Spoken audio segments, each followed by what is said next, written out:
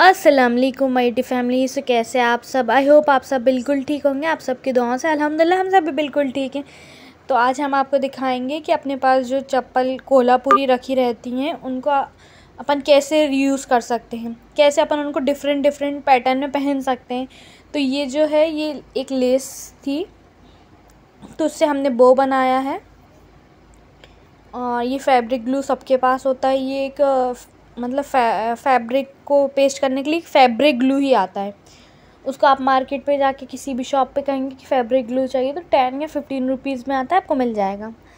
और ये कोल्हापुरी चप्पल हमारे पास पुरानी रखी थी तो हमने कहा इसका हम कुछ रीयूज़ करके देखते हैं। तो आइए, हमने ये बटरफ्लाई बनाई। ये देखिए आप, इसमें बीच में हमने रेड कलर का रिबन लगाया है।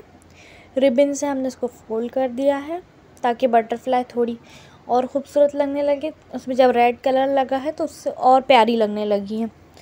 तो ये देखिए ऐसे हमने ये रेड की है। ये देखें। अपन मतलब डिफर आ, हर ड्रेस में मैच कर करके ऐसे बना सकते हैं और पहन सकते हैं हर ड्रेस के साथ।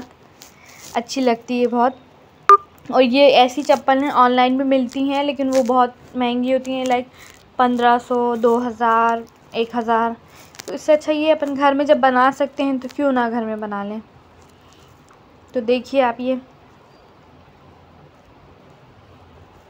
मैंने इंस्टाग्राम पे बहुत सारे पेजेस पे देखी हैं, ये सब चप्पलें। तो बहुत कॉस्टली मिलती हैं। और ये बहुत इजी होती हैं बनने में। तो अपन क्यों नहीं घर में बनाए? ये देखिए, मेरे पास एक लेस रखी थी पहले की, जिसमें मैंने सिर्फ़ मिरर लगाया। आप और से देख सकते हैं। और सेम चप्पल है तो हमने इस पे ये लेस लगा लेंगे हम फैब्रिक ग्लू से। ये भी डिज़ाइन मैंने एक ऑनलाइन देखा था चप्पल का। नो no डाउट वो लोग भी बहुत मेहनत करते हैं, बहुत अच्छे से बनाते हैं, लेकिन अपन जब बना सकते हैं तो अपन क्यों ख़रीदें? ये देखिए हमने मिरर लगा लिए हैं यहाँ पर एक, दूसरे वाले टोपे भी हम।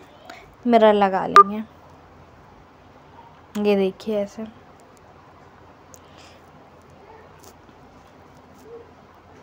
ये देखिए कितनी प्यारी लग रही है।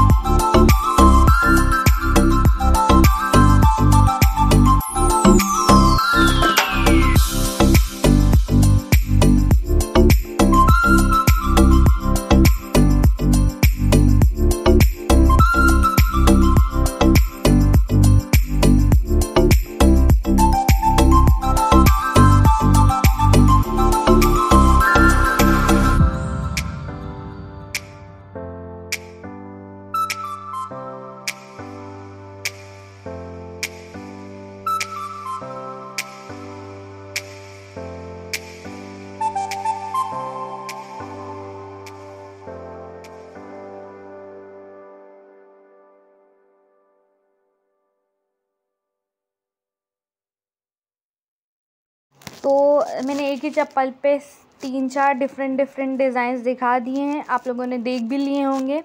आई होप आपको पसंद आए होंगे और अगर प्लीज़ आप लोग भी ट्राई कीजिएगा। बहुत इजी है बनाने में। अपने पास ये सब चीज़ें घर में ही अवेलेबल होती हैं और ये अच्छी भी लगती हैं।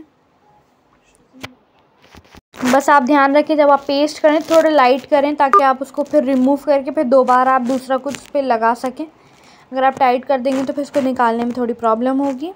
वरना ये बहुत अच्छी हैं और पेस्ट जो उसका मतलब आई मीन फैबी फैब्रिक ग्लू आता है, वो बहुत सही रहता है, उससे कभी नहीं निकलता है तो आप कहीं भी मार्केट में जाके ले सकते हैं और ये सब तो आप बना ही सकते हैं बटरफ्लाई और बटरफ्लाई नहीं बनाना थी, उसका भी मैं लिंक आपको शेयर कर दूँगी डिस्क्रिप्शन बॉक्स में, आप वो भी देख के बना सकते हैं ईज़िली आई होप आपको हमारा वीडियो पसंद आएगा अगर पसंद आया तो please do like share and subscribe my YouTube channel अल्लाह हाफिज़।